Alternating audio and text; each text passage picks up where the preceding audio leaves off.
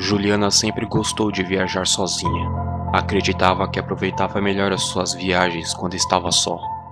No fim do ano passado, alugou o apartamento de um senhor mal encarado em São Paulo para ver a tradicional queima de fogos. Juliana pouco ficava no imóvel. Na verdade, o usava apenas para dormir e tomar banho, porque aproveitava cada momento de suas férias. Café da manhã, almoço e janta eram fora. Ela não queria ter o trabalho de cozinhar estando a passeio. Na véspera de Ano Novo, ela esbarrou com seu vizinho de porta. Ela tentou puxar conversa, mas acabou intimidando o rapaz, que entrou para o apartamento. Depois de curtir a véspera da virada numa balada, Juliana voltou para o apartamento para tomar um banho e dormir. Assim que entrou no banheiro, percebeu que o frasco de seu shampoo estava no chão, mas não deu importância, afinal, poderia ter caído sozinho. Ao se deitar, notou que o lençol não estava estendido da mesma maneira que antes, mas não tinha certeza.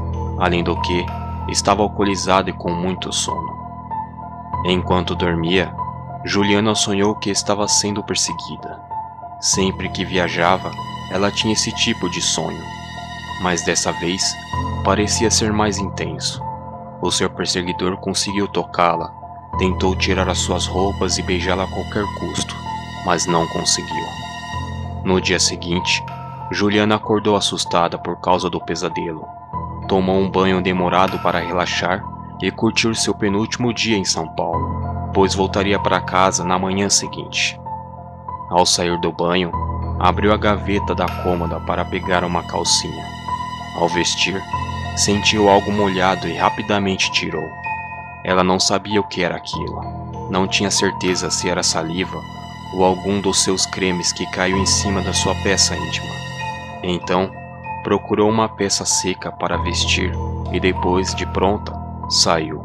Por volta das 11h50 da noite, já de volta ao apartamento e ansiosa para ver a queima de fogos de sua sacada, Juliana ouviu um barulho no armário do quarto, que era usado como guarda-roupa.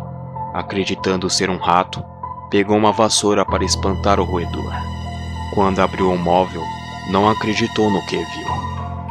Seu vizinho de porta estava lá dentro, sem camisa, usando apenas uma bermuda. Ele acariciava o próprio mamilo com uma mão e com a outra tocava suas partes íntimas por dentro da bermuda. Juliana entrou em desespero. Aquele rapaz tímido com quem tentou conversar, na verdade era um monstro. O perseguidor de seus sonhos que a tocou e tentou a beijar enquanto dormia.